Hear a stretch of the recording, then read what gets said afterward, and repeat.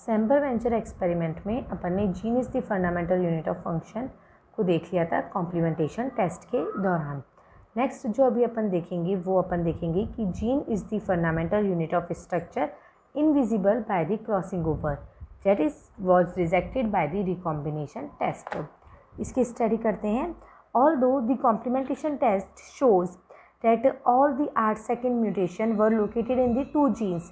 Recombination test demonstrate that these mutations were located at many distant sites within these two genes. हुआ क्या recombination event between the R second mutation were analyzed by simultaneously co-infecting E. coli B cell with the two R second mutant. Progeny plaques were plated on the lawn of E. coli K12 lambda cells to see if any wild type recombinant have been produced. Progeny phage on E coli B cell total number of progeny phage इसमें produce होती है। और progeny जो E coli के cell पे हुई तो वो क्या बताती है? वो हमें बताती है कि नंबर ऑफ़ रिकॉम्बिनेंट या आर प्लस सेल्स कितने थे? The equally the equally fragment double mutant recombinant will not produce plaque on E coli के ट्वेल्व रिकॉम्बिनेशन फ्रिक्वेंसी अपन इसके दौरान निकाल सकते हैं। टू मल्टीप्लाई बाई जो नंबर ऑफ़ प्लाग जो सिर्फ़ और सिर्फ़ इकोलाई ट्वेल्व पे प्रोड्यूस हुए मतलब कि वो वाइल्ड टाइप जो इकोलाई ट्वेल्व पे प्रोड्यूस हुए, वो अपॉन नंबर ऑफ़ प्लाग जो पूरे बी सेल्स पे प्रेजेंट थे। इससे अपन ये देख सकते हैं कि बी सेल्स मतलब कि जो के के ट्वेल्व में जो प्लाग्स मिसिंग थे और जो प्लाग बी में थे, जो बी में थे, वो क्या इंडिकेट कर रहे थे कि वो म्यूटेंट है। इसके कारण ही कि वो इकोलाई के ट्वेल्व में ग्रो नहीं हो पाए। आठ सेकंड का लोकस है, जिसमें दो जीन है ए और बी सपोज़ ए के अंदर ही म्यूटेशन हुआ है, दो अलग अलग साइट्स मतलब टू डिफरेंट डिफरेंट साइट्स पे. डबल म्यूटेंट तो हम इसकी जो प्रोजेनी मिलेगी, एक तो मिलेगी रिकॉम्बिनेशन के दौरान, एक तो मिलेगी डबल म्यूटेंट और एक मिलेगी हमें वाइल्ड टाइप म्यूटेंट जिसके कारण हम इसको देख सकते हैं। तो बेंजर ने हाइपोथाइज किया है that if the plaque formation is visible plaque formation अगर हमें विजिबल हो रहा है इकोलाई के ट्वेल्व के अंदर प्लेट के अंदर तो वो रिकॉम्बिनेशन के दौरान भी हो सकता है मतलब क्रॉसिंग ओवर के दौरान भी हो सकता है। Must have been taken place within the gene और वो विद उनके, खुद के जीन के अंदर ही वो क्रॉसिंग ओवर हुई है मतलब इंट्राजेनिक क्रॉसिंग ओवर वो हुई है। For this Benzer require the mutant which have be mutation in one gene only ठीक है, ये उनका एक्सपेरिमेंट था रिकॉम्बिनेशन टेस्ट का। कॉम्प्लीमेंटेशन रिकॉम्बिनेशन टेस्ट के कुछ डिफ्रेंसेज है, वो देख लेते हैं। Recomplementation test this test define the functional analysis that is whether the two genes are in the same gene और the different gene recombination this test determine the structure analysis that is the number the occurrence of the two और more different mutation at the same site of chromosome secondly जो complementation test है, उसमें क्या होता है? The two mutation that do not complement each other in a transheterozytes are in the same unit of the function that is the same gene. Recombination में it involves the actual breakage of the chromosome and reunion of the part to produce the wild and the double mutant chromosome. Complementation test के अंदर complementation और lack of it it assessed by the phenotypic that is wild type or the mutant of each trans heterozygote. But recombination में two mutation that do not recombine are structurally alike that is the mutation either occur at the same site or the overlapping of a common site recap में अगर अपन देखते हैं complementation का, ये तो वही है जो मैंने आपको नेक्स्ट लेक्चर में बताया था।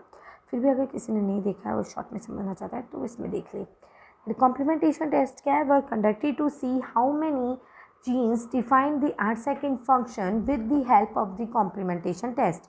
Bencher was able to group all the R second mutant over 2000s in the two group A and B. All the mutant in group A mapped at one locus and these in the group B mapped at the locus very closely. Therefore, R second locus consists of two functional unit A and B, which Bengers called the cistron. The cistron was defined has nucleotide sequence encoding a polypeptide and is the unit of the complementation. A gene may specify a single polypeptide in which case the cistone is the same as the gene. If a gene specify multiply the polypeptide as in the case where the multiple C subunit are involved, it will consist of multiple cistone.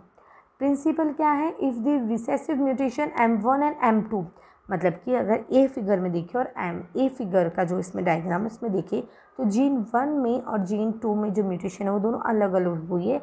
M one mutation gene one के अंदर हुई है और M two mutation gene two के अंदर हुई है। और जब इससे हम, और जब इन दोनों म्यूटेशन को क्रॉस करते हैं और वाइल्ड टाइप इसके अंदर प्रोड्यूस होगा, क्योंकि जीन वन वाला इसको इसमें जीन वन वाला इसको नीचे वाला इसको कॉम्प्लीमेंट दे देगा। मतलब जीन वन का प्रोडक्ट बन जाएगा और जीन टू का प्रोडक्ट बन जाएगा ऐसा कॉम्प्लीमेंटेशन टेस्ट से बट जो बी वाला जो डायग्राम है उसमें देखिए तो जो म्यूटेशन एम थ्री और एम फोर है, वो दोनों ही जीन वन में हुई है, जिसकी वजह से जीन वन का जो प्रोडक्ट है वो नहीं बन पाएगा। ऊपर नीचे दोनों में से किसी भी क्रोमोजोम्स के थ्रू जिसके कारण जो हमारा जो नेक्स्ट जनरेशन का जो फिनोटाइपिक आएगा, वो क्या होगा म्यूटेंट आएगा। That was the complementation test अब बात करते हैं रिकॉम्बिनेशन टेस्ट क्या कहना चाहता है। It is demonstrated that these mutation were located at many distance site within these two genes अब ये ये कहना चाह रहा है कि अगर, कि जो जैसे ए वाला डायग्राम देखिए, अगर उसमें जो म्यूटेशन है ए में ही म्यूटेशन हो रही है और ए में जो म्यूटेशन हो रही है, वो कहाँ हो रही है? वो अलग अलग साइट पे म्यूटेशन है। मतलब कि ओवरलैपिंग म्यूटेशन नहीं है, थोड़ा दूर दूर म्यूटेशन है। तो उनसे जो प्रोड्यूस होगा, एक प्रोड्यूस होगा वाइल्ड डबल म्यूटेंट प्रोड्यूस होगा, जिसमें मतलब इन बिटवीन में रिकॉम्बिनेशन होगा इंट्राजेनिक क्रॉसिंग ओवर से रिकॉम्बिनेशन होगा, जिसके कारण एक क्रोमोजोम तो डबल म्यूटेंट वाला बन जाएगा और एक क्रोमोजोम हमारा वाइल्ड टाइप बन जाएगा ए वाले डायग्राम में, ऊपर में जो दिख रहा है। बी वाले में क्या हो रहा है कि अगर जो म्यूटेशन है, वो सेम मतलब ओवरलैपिंग पे हो रही है तो उसमें रिकॉम्बिनेशन इंटरजेनिक उसमें क्रॉसिंग ओवर नहीं हो पाएगी, जिसके कारण दोनों ही जो सेल जो प्रोड्यूस होंगे वो कैसे होंगे? म्यूटेंट होंगे। ठीक है। Generation of the wild type gene sequence by the chromosomal recombination the mutant site of represented by the X carrying the negative sign and the wild type site is indicated by the plus sign In A, the mutant site on the two homologous chromosomes are difficult, are different and far apart. In B, the mutant site on the two chromosomes are on the same or make very close to each other and no wild type is generated. The combination frequency between the two mutation increases with increasing the distance between them. As more crossover can occur, thus recombination frequency would be used to order different mutation relative to each other on the chromosome. They are the, they are the location within a gene which participate in the recombination and there is a minimum distance between the recon within a gene and a recombination cannot occur within a recon and the term recon was the term is the recon is the unit of the recombination and this is coined by the Semper-Wenger. This is the second theory or second assumption which was given by the Semper-Wenger. On the next video we will discuss his third assumption that is the gene is the fundamental unit of change and this was rejected by the deletion mapping.